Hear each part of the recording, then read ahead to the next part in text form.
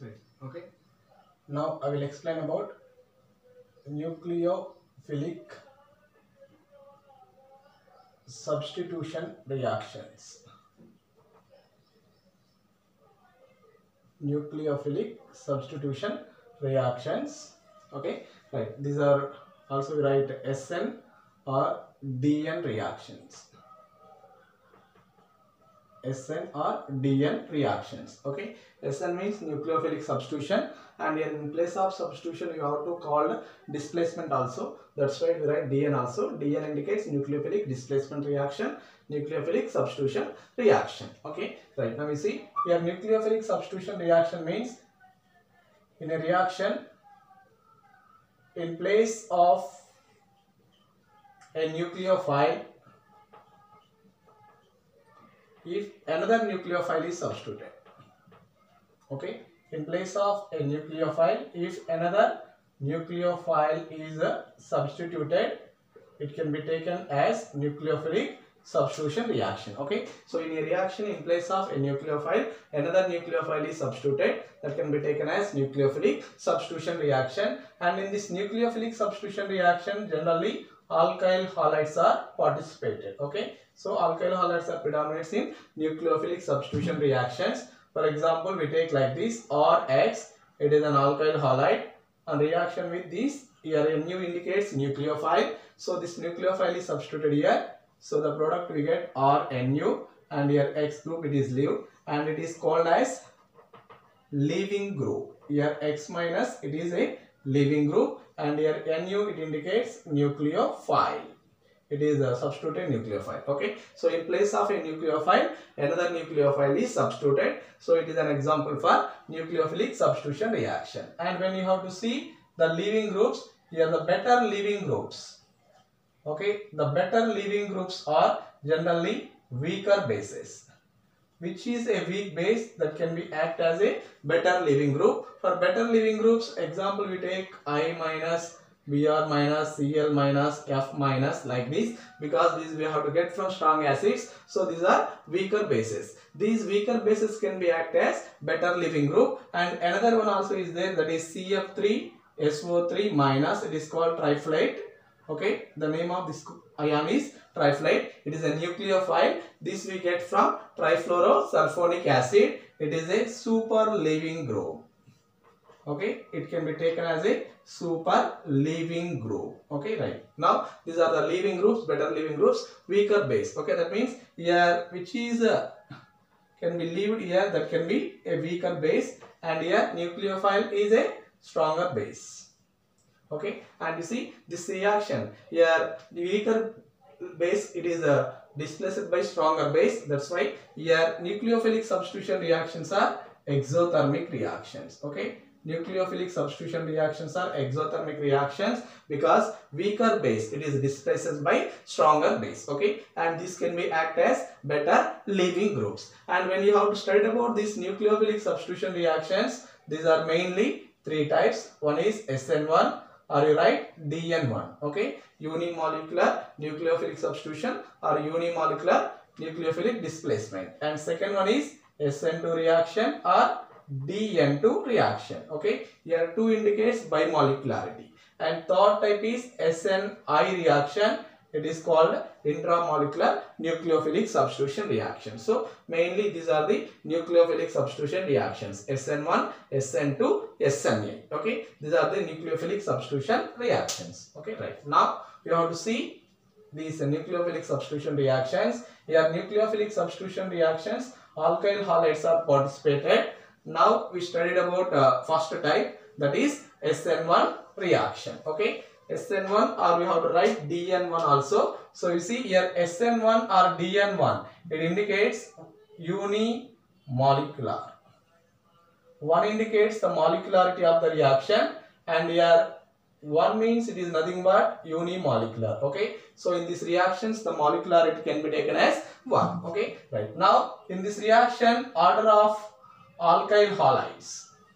Okay, order of alkyl halides you see in this reaction mainly benzyl halides are participated and next allyl halides, tertiary alkyl halide, secondary, primary and least one is methyl halide. Methyl halide. Okay. These are the order of reactivity of alkyl halides in SN1 reaction. Okay. Because this order it is based on stability of carbocation. That means which alkyl halide forms a stable carbocation?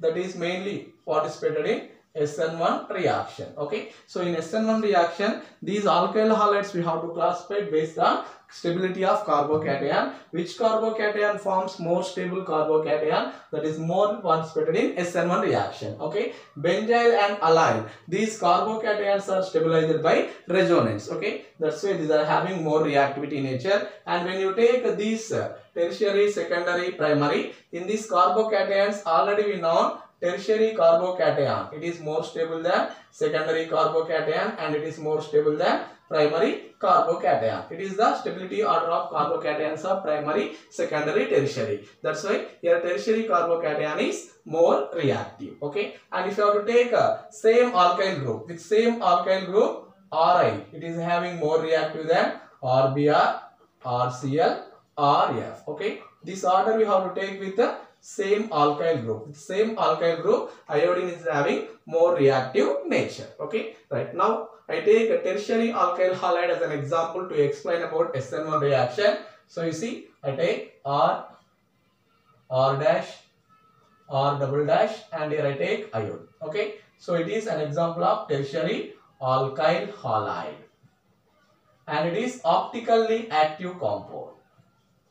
It is optically active because here around the carbon three alkyl groups are different alkyl groups are present. That's why it is optically active. Now it react with a stronger base. I take KOH here OH minus can be act as nucleophile okay? So in this reaction the products we get are CrOH R double dash and R dash okay? Another one is CR R dash OH or double dash. Okay we get like this. Okay here the leaving group is on right side but OH is on left side. So this product it is called inversion product. And in the same place sorry in the same place here OH group is substituted. So that's why it is called retention product. Okay so in this inversion and retention both are formed and it is also called racemic mixture. So in SN1 reaction if tertiary alkyl halide is an optically active compound, the product is racemic mixture and it is alcohols. So we write tertiary alcohols. Okay. So here inversion and retention both are formed. In this inversion and retention, okay? Here always inversion is a greater product retention is less product. Okay? When you compare percentage of inversion and retention inversion product is more percentage is present okay? And it is exothermic reaction. SN1 reaction is an example for exothermic reaction. Okay? So optically active compound if you take we get racemic mixture. Okay? Now you have to see the mechanism of this SN1 reaction for this reaction now I can write uh, mechanism. Right. Okay, you see this SN1 reaction it takes place in total two steps. Okay, in two steps it is takes place. The in the first step tertiary alkyl halide is participated. Okay, tertiary alkyl halide it is participated in first step. Okay, it is in first step it is a slow step or it is also rate determining step. Here leaving group is eliminated. So from that we get R, R dash, R double dash and here positive charge is present. It is tertiary carbocation. Tertiary carbocation is a stable carbocation and here the hybridization of carbon is sp2 and this step is endothermic step. Okay, remember this. Total reaction is exothermic but the first step is endothermic step because here in between carbon and iodine bond breaking takes place. For this bond breaking here you require some amount of energy. That's why this step is endothermic step. Okay, right. And second step, this carbocation. This carbocation it uh, react with nucleophile. Okay, it is a fast step.